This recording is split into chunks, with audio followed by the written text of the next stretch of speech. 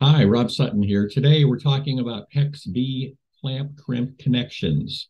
My stepdaughter bought a house and a few years before she bought it, they replaced all the plumbing with PEX B. And she wanted to replace the vanity in the bathroom. So we uh, did a little PEX B plumbing.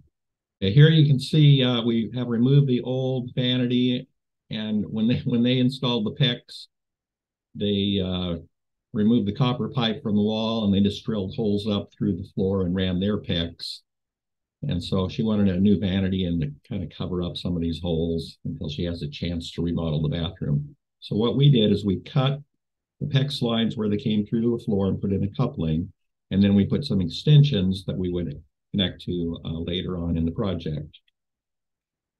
Here you can see uh, we picked up a little vanity and sink at IKEA and it allows uh, the PEX to come up in the back and then we can make our connection right there.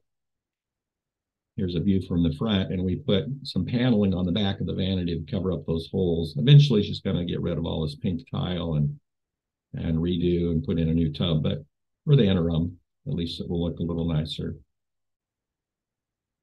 Simple to do with PEX B.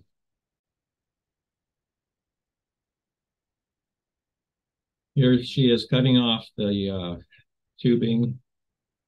And of course, we have the water turned off, otherwise we'd have a fountain coming out. PEX plumbing is so simple to do. I just love it. No soldering, no torch to catch your house on fire. And it's a matter of slipping the crimp ring over the pipe and I had pre-attached the valves to the uh, water lines from the sink.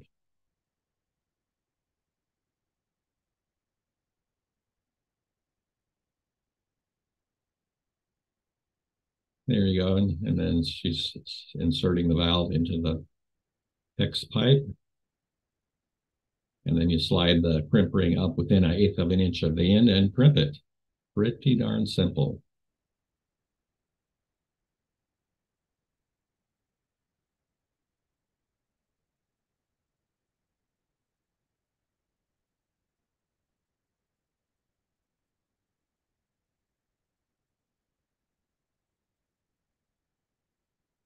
The ring in position, put on the crimp tool,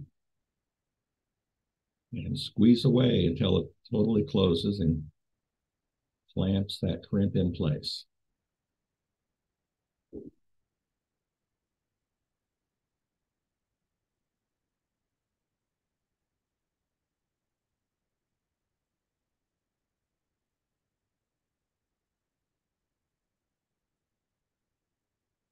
Was kind of a tight space. She needed a little more muscle, so her partner came in to finish up the trim.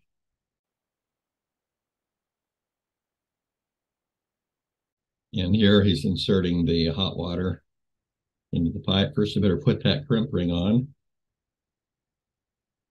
and repeat the process as with the cold water line. Insert the valve into the PEX B pipe, slide the crimp ring up within an eighth of an inch, and Squeeze it with the crimp tool until it is tight.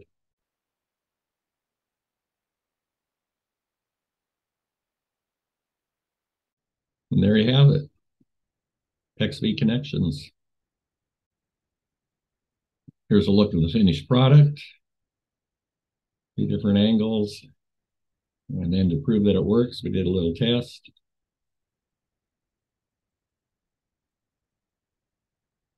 And there you have it, PEX B crimp connections. Easy peasy. The wave of the future, for sure. Thanks for watching. To review more of my videos, click here. To be notified when I release a new video, click here to subscribe to my channel.